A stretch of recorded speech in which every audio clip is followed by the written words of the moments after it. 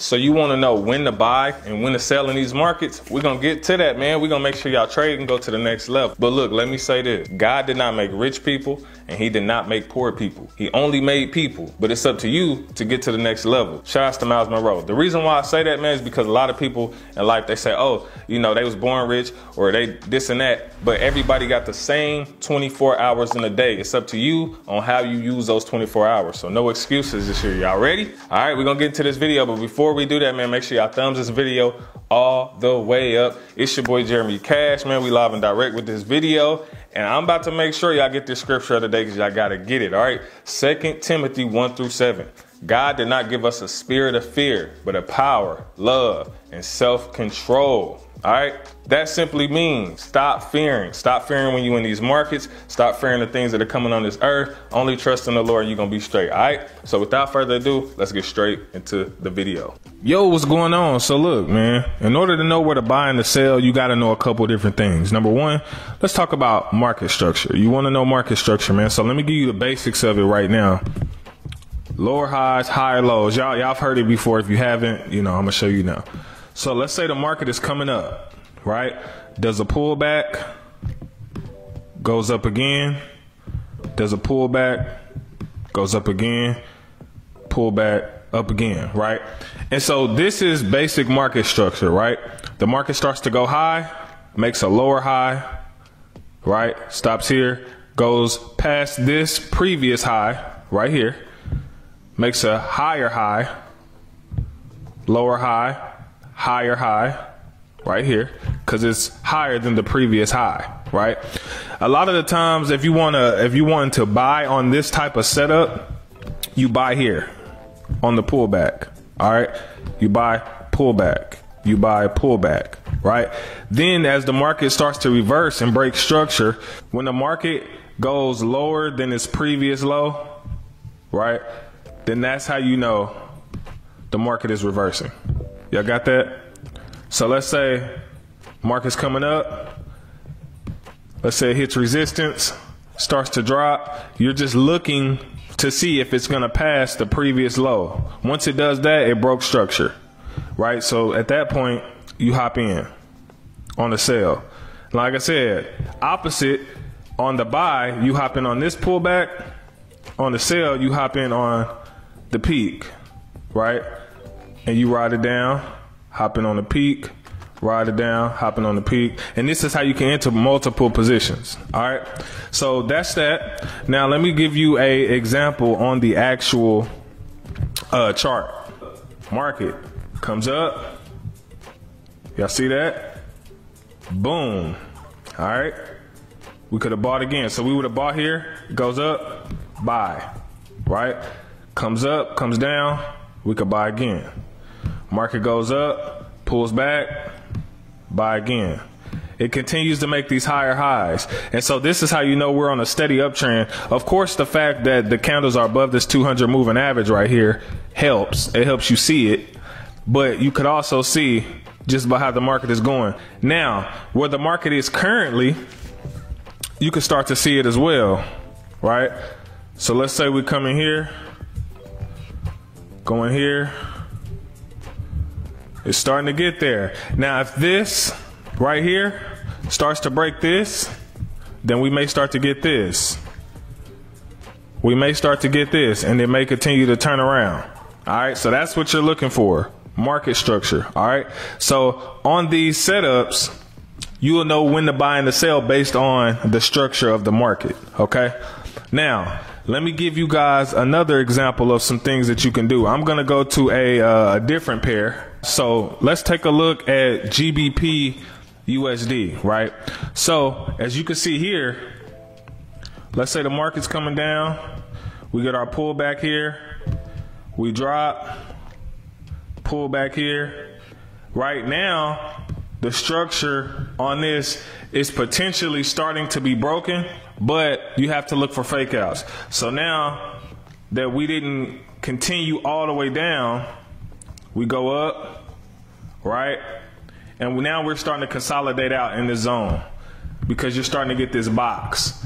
All right. And when the market does that, it usually does this until we get a breakout. Now, if you get a breakout, you could potentially go here go here, go here, go here. Or if it breaks out to the bottom, it's gonna be the same thing on the way down. All right, so that's what we're looking at. All right, so look, this here is support and resistance we're going to talk about next. And I want you to know exactly when to buy and to sell on that. So there's a couple different ways you could do this. All right. Now I already had this chart marked up previously for you guys so you can see exactly what we're looking at. All right. Now this is the weekly time frame. All right. So you can come to the weekly time frame and the best thing to do is to mark up key levels of support and resistance. All right. So if you come to the weekly, you can just see different levels. The market touched here in this zone. You can just see all the different touches in these zones, right? And this is why I put the support and resistance zones here, right? And you see the market is now starting to come back down here to this zone, okay? Now, the same the same rules apply. You can mark up smaller zones. Now, like I said, this is the weekly, so these are key levels. You see this here? And we know that the market could potentially come back up to this zone, break through, head up here to these smaller zones up here, right? Or it could continue to break out and continue to head this direction. Now, the reason why I have a trend line here is because the market is respecting the trend line. Now, it just broke trend here, if you could see it. It just broke trend right here. Now, if it continues down, it could continue to make its pattern, right? It may not be as sloppy, like it may come up here with a fake out and then head back down, right? So you have to look out for that. And that's why support and resistance is so important so you can catch these different moves that's going on. So this is something that you will have to look at over the next couple of days to a week or so to see how it plays out. But normally after I mark up the weekly, you could then do top down analysis and come to the daily the four hour and mark up smaller zones. Okay? So that's usually what you want to do to find your best entries. Okay? So me remove this here. Okay? So now, let's say we come to the four hour. Based on what I marked up on the, the weekly, you can come down here to like the four hour and you could see you could see right here a clear break of the trend line right? And you could have got in. Now you could have got in for the drop or you could have got in on a pullback. We also see here, if you guys know, I trade a lot off of the 200 moving average, but you can also see here that the market broke clear through the trend line, right? Breaks different levels of support, breaks through, retest here. So this could have been another entry, right? So you got an entry there a pullback back at the at the zone. Retest, you could have got in again here on the sell. Market dropped, pull back another sell, and it's trying to continue here. Now the next level, like I said, is going to try to break is here. If it continues to break here and forms another low, then it's gonna it's gonna that structure will continue. So if it, it may look something like this here. It may look like this and continue down. Or like I said, it could come back, retest this zone, and end up going back up this way. You know what I'm saying? So there's a bunch of different scenarios, but these are different ways to know how to buy and sell. So basically, you go from the weekly, you mark the weekly up, right? And then as you go down to the, the daily, the four hour, maybe the one hour, you can mark up smaller zones on key levels of support and resistance, and you'll be able to enter there. Okay? And so this is the kind of stuff that I, I, like to show people because it's like once you have it all marked up, it becomes easy to see, okay, where's the market bouncing and where, you know, are the potential setups. So I'm going to go to one more pair here so you guys can see. We'll go here to GJ. All right, so GJ, a lot of people love to trade GJ because, you know, they get over 100 pips a day and uh, very fast moving pair that's going to give you the most bang for your buck. And so one of the things that you guys can do is trend line. Let's grab our trend line right quick so we can see. I'm to start here. We're to go clear through here. All right. So boom. Trend line is to help you know, okay, basically what a trend is. And based off of that, you could just see where the market is going, right?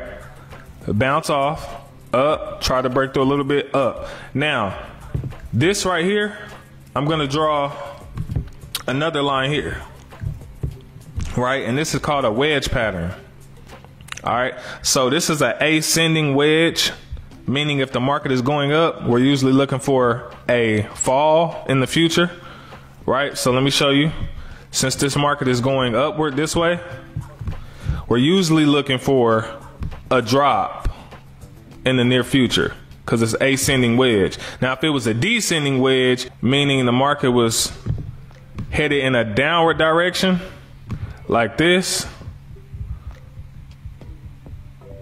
then we would be looking for the market to go up, like that. Okay? And so that's the difference between ascending wedge and a descending wedge. So if you ever see this pattern right here, then you'll know exactly what we're looking for. All right, but based off this, it then broke through a high level of resistance on the four hour. All right, we go up, we got the pullback. Now I could potentially go up here, or let me remove this. It could break back down through here, back into this zone, and complete out for the drop. So these these are the ones that I like to wait on. So if I go here to the weekly, let me just look at the weekly and just kind of see. We got heavy rejection. Heavy rejection. So you remember that pattern I was just telling y'all about. Look at this candle right here. Heavy rejection. When you see a long skinny wick like this, heavy rejection meaning we could potentially be going down. So that just lets you know what I was telling you on the four hour chart. The market, like I said, can can potentially break down into this pattern here and come back into this zone that's right here. It could potentially come back into the zone and potentially give us that fall that we're looking for. Straight down. All right. So, takeaways from this video. You want to buy and sell at high levels of support and resistance. If you set up support and resistance here, right? If the market bounces off resistance, you want to look for sells, especially if it touches multiple times. You sell, and how do you know when to get out? You mark it up, and boom, you got key levels. Sell, buy, sell, buy, right? Catch quick scalps, catch long term trades. And then once it starts to break out, then you know, okay, now I can start buying here. We got a pullback, potentially could go here, but as you saw on the weekly, the market is starting to weaken out. So we may get that drop back down here.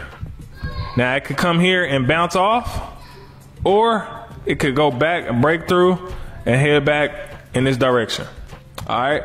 So Make sure you study market structure. On market structure, you want to buy on the pullback when the market is going up. And then as the market is coming down, you want to sell on the pullback. So you sell here, you buy over here. Y'all got that? Talk to y'all another video. God bless. Make sure you ask God for forgiveness for all your sins. See you guys later. God's timing is perfect. Patience has a purpose. Waiting for it's worth it. Right on time when we late to the